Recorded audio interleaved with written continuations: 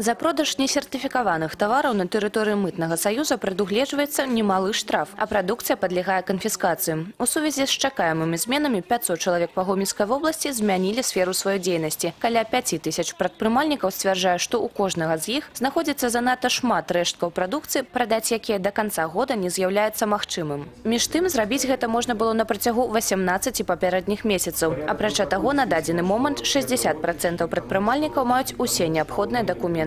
не зря каждый из регламентов начинается со слов о безопасности. О безопасности пищевой продукции, о безопасности продукции легкой промышленности, о безопасности продукции для детей и подростков.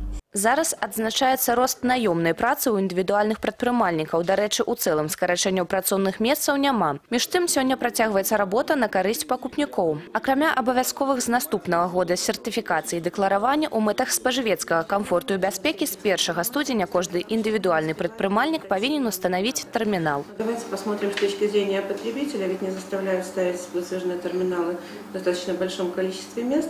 Да, это затратно, но с точки зрения потребителей и мне, и вам, и, наверное, вашим близким удобнее рассчитываться карточкой. Акрамя таго, такія новаўвядзенні ніяк не адаб'юцца на кошце і разнастайнасці тавараў. Кацярына Сапельнікава, Ігор Марышенко, тэлерадыёкампанія «Гомель».